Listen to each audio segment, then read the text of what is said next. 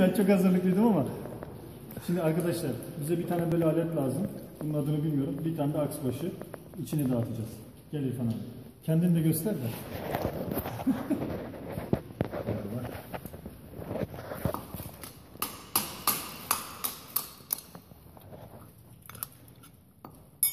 Aks kovanını çevirmek suretiyle Şunu şuradan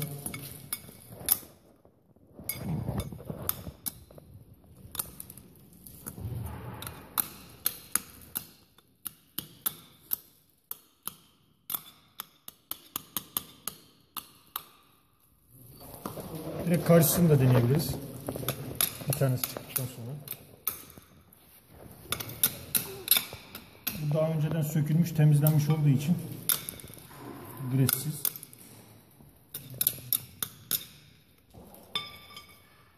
Böyle olursa sıkışır tabii.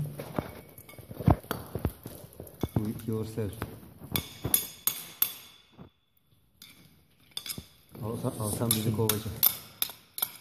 Muayene.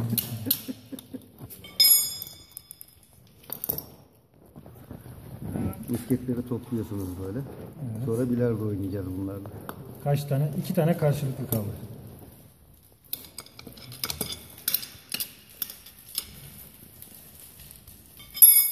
Bir tane şurada kaldı.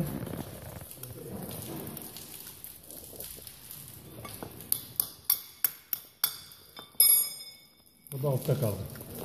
Arkadaşımızın mesleği bankacıdır.